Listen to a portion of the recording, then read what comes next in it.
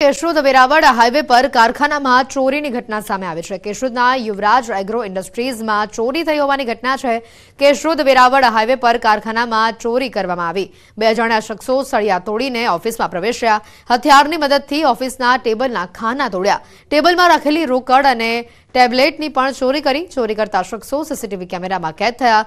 સુડતાલીસ હજારની ચોરીના પગલે ફરિયાદ દાખલ કરવામાં આવી છે. પોલીસે સીસીટીવી ફૂટેજના આધારે સમગ્ર મામલે કાર્યવાહી હાથ ધરી છે. ઠાસરા પ્રાથમિક શિક્ષક ક્રેડિટ સોસાયટીમાં કૌભાંડ સામે આવ્યું છે. શિક્ષક સોસાયટીમાં બે પોઈન્ટ બાર કરોડની ગેરરીતિ બહાર આવી છે. જાણ બહાર છવ્વીસ શિક્ષકોના નામે ખોટી લોન અને ખોટી એન્ટ્રીઓ પાડી પૂર્વ પ્રમુખ, પૂર્વ મંત્રીએ મિલીભગત કરી ચૂનો લગાવ્યો હોવાની માહિતી છે.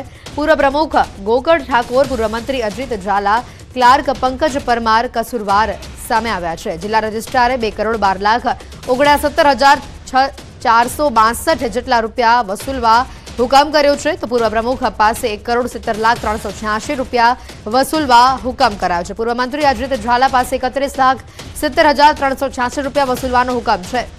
ક્લાર્ક પંકજ પરમાર પાસેથી દસ લાખ ત્રેસઠ હજાર ચારસો બાસઠ રૂપિયા વસૂલવાનો હુકમ છે, જોકે હજી સુધી અજીત ઝાલા ડિરેક્ટરના હુદ્દે અને ક્લાર્ક પંકજ પરમાર હોદ્દા ઉપર યથાવત રહેતા રોષ જોવા મળી રહ્યું છે. નાણાકીય વસૂલાત સાથે પોલીસ કાર્યવાહી કરવા મંડળીને ફરમાન લગાવવામાં આવ્યું છે.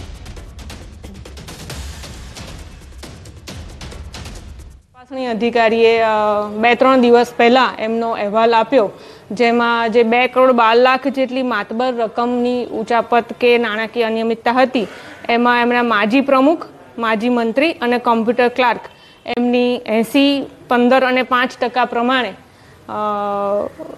વસૂલાતની કાર્યવાહી કરવા માટેનો અહેવાલ કરવામાં આવેલો છે. રિપોર્ટ સુપ્રત કરી અને જે તે નાણાં છે એને વસૂલવા માટે પ્રમુખ મંત્રી ને કારોબારીને સત્તાઓ આપવામાં આવેલી છે.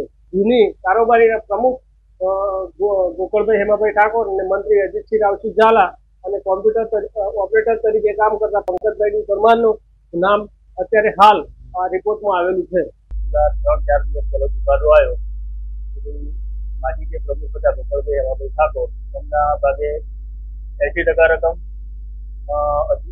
માજી મંત્રી શ્રી અજીતસિંહ રાવસિંહ ઝાલા એમને પંદર ટકા લેખે પચીસ સમથિંગ રકમ ભરવાની થાય છે. અને મંડળીમાં જે ક્લાર્ક હતા પંકજભાઈ ડી પરમાર, એમના લેખે સાડા દસ અગિયાર લાખ ભરવાનો ચુકાદો આવ્યો છે તો ગોંડલમાં કાયદો અને વ્યવસ્થા કથળી હોવાની વિગત છે. ગોંડલમાં હુમલાની ઘટના સીસીટીવીમાં કેદ થઈ છે.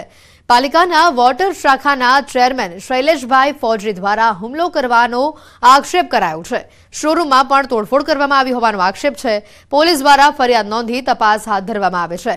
મકર સંક્રાંતિના દિવસે ડીજે વગાડવા મુદ્દે માથાકૂટ થઈ હતી.